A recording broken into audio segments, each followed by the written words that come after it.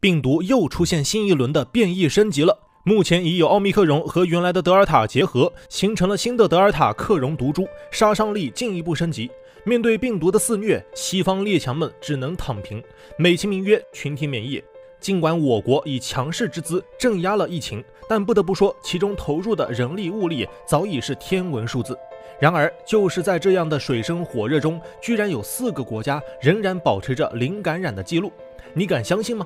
接下来，让我们一起来揭开零疫情国家的神秘面纱。欢迎来到科普启示录，我是小强哥。第一个国家是全球第一小国瑙鲁。有人说瑙鲁是一个伪装成国家的村子。如果你想在地图上找到瑙鲁，得把比例尺变成一比二十公里，才能通过肉眼观察到它的存在。作为世界上最小的国家。瑙鲁的国土面积仅为二十二平方公里。瑙鲁位于南太平洋密克罗尼西亚群岛当中，原本是太平洋上一座美丽的珊瑚岛。原住民有明显的波利尼亚人特征。自从1798年被美国捕鲸船发现后，这个小岛经历了被占领、被殖民、再次独立的艰辛过程。后来，这座小岛被发现蕴藏着丰富的磷酸盐资源。原本靠捕鱼为生的瑙鲁人，通过出口磷酸盐获取了大量的财富，成为了暴发户后，瑙鲁人就医、教育都是免费的。由于岛上资源匮乏，淡水、肉类来源均依赖进口。不过，因为有钱，岛民们一天至少可以吃到六顿来自澳大利亚的进口牛肉。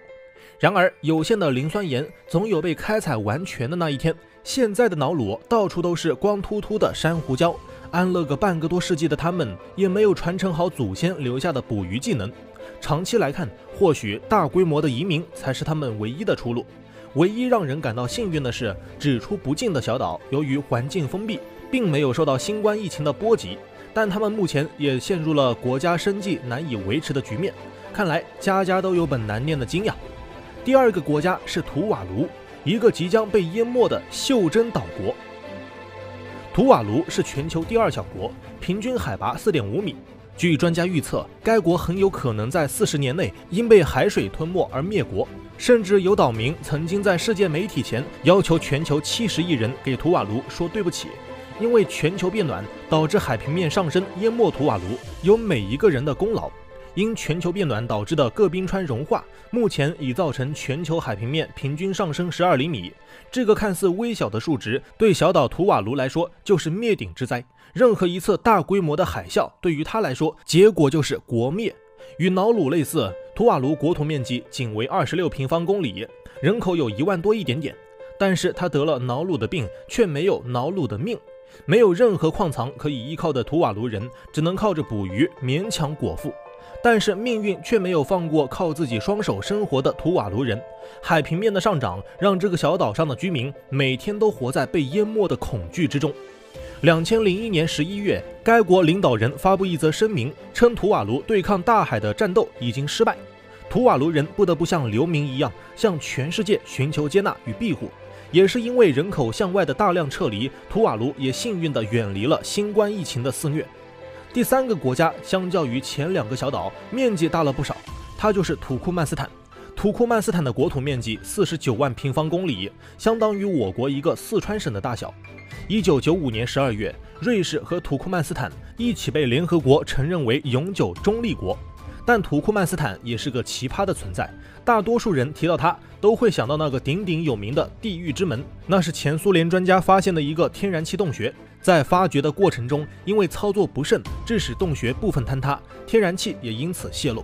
科学家们为了确保安全，于是点燃了这个洞穴，可未曾想到，一把火烧了六十年还没熄灭。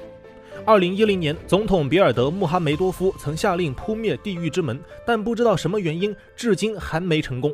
后来，他们索性把这个大坑当成旅游胜地，用来赚钱了。土库曼斯坦的个性，就像这件事中所表现出来的心大。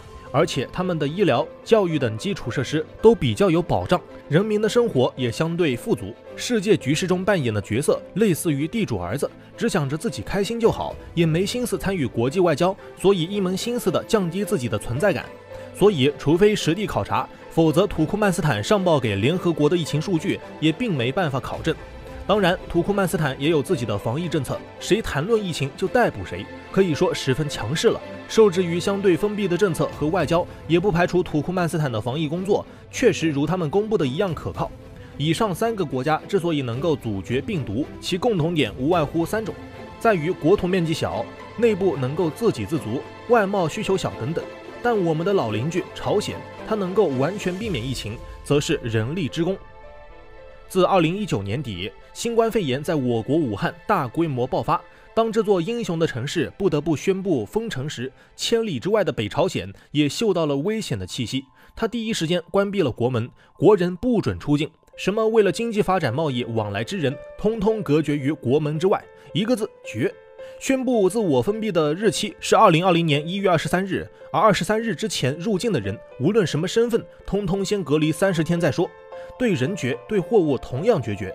北朝鲜并非一个能够完全自给自足的国家，这就意味着它不得不依靠进口来保障人民正常的生活需求。对于入关的货物，北朝鲜是怎么干的呢？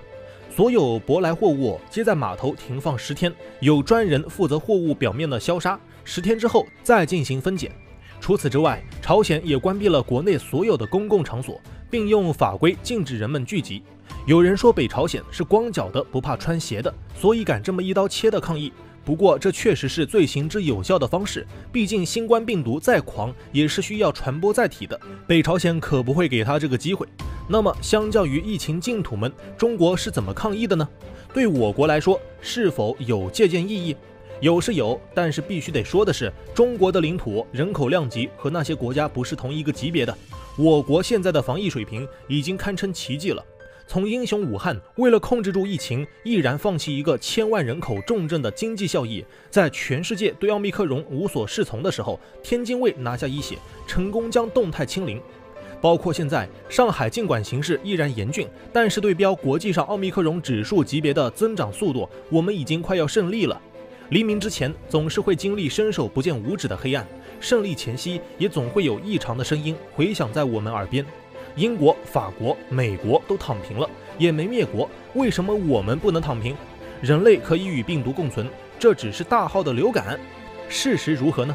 德宝的肮脏事儿，到现在某国也没有给我们一个正经的交代呢。